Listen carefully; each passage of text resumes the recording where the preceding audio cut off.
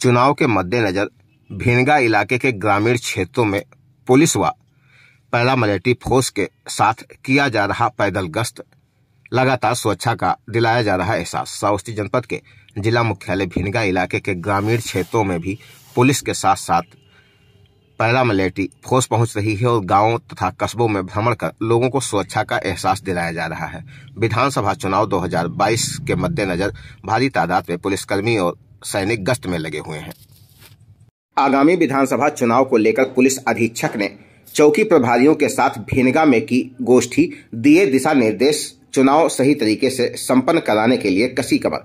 श्रावस्ती जनपद के जिला मुख्यालय भिनगा का मामला, जहाँ पर विधानसभा चुनाव 2022 की आगामी तैयारियों व चुनाव को शांतिपूर्ण निष्पक्ष पारदर्शिता एवं निर्विघ्न रूप से संपन्न कराए जाने हेतु पुलिस अधीक्षक अरविंद कुमार ने चौकी प्रभारियों के साथ गोष्ठी कर उन्हें आवश्यक दिशा निर्देश दिए। इस दौरान उन्होंने कहा कि निर्वाचन आयोग द्वारा आज दिए गए नियमों का आचार संहिता का अच्छा सा पालन कराया जाए। चुनाव में बाधा पहुँचाने वाल पहुँचाने की मंशा रखने वाले अराजक तत्वों का पहले से ही चिन्हीकरण कर उन्हें पाबंद किया जाए। साथ ही जनपद में शांति एवं व्यवस्था बनाए रखने हेतु अवैध कच्ची शराब निर्माण, भंडारण, परिवहन व बिक्री पर प्रभावी लगाम लगाया जाए। इसके साथ साथ इनामिया, जिला बदर आदि अपराधियों पर भी नकेल कसी जाए। श्रावस्ती जनपद के जिला मुख्यालय में उन्होंने गोष्ठी कर आवश्यक दिशा निर्देश दिए और आपने उसको मिटवाया नहीं आप इग्नोर कर रहे हैं तो आपके खिलाफ कार्रवाई हो ठीक है तो इस चीज़ को, जब भी आप क्षेत्र में निकल रहे हैं पहले जाके पूरे क्षेत्र में ढूंढ डालो, कहीं सरकारी संपत्ति पर कोई पूरा कार्रवाई हो। मुझे मिल जाएगा तो।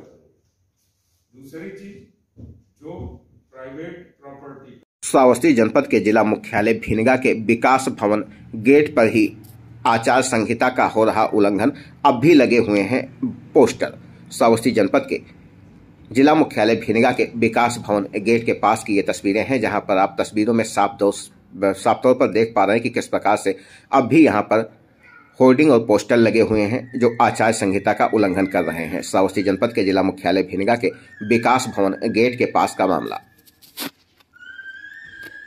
श्रावस्ती जनपद में एक बार फिर से फूटा कोरोना बम, एक साथ सैंतीस नए केस आए सामने। श्रावस्ती जनपद के जिला मुख्यालय पर तैनात सीएमओ ने बताया कि आज एक बार फिर से ज़िले में कोरोना बम फूटा है। सैंतीस नए केस सामने आए हैं। स्वास्थ्य विभाग की टीम घर घर भेजकर सभी को होम आइसोलेट कराया जा रहा है। साथ ही सभी के कॉन्टेक्ट तलाशे जा रहे हैं। श्रावस्ती जनपद का यह पूरा मामला, जहाँ पर सैंतीस नए केस आने से स्वास्थ्य विभाग की चिंताएँ बढ़ गई हैं। श्रावस्ती जनपद में आज एक साथ सैंतीस नए पॉजिटिव केस सामने आए।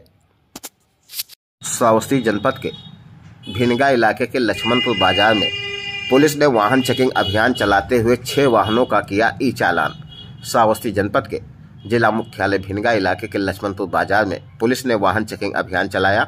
इस दौरान यातायात नियमों का उल्लंघन करने, मास्क न लगाने के संबंध में छह वाहनों का ई चालान किया गया।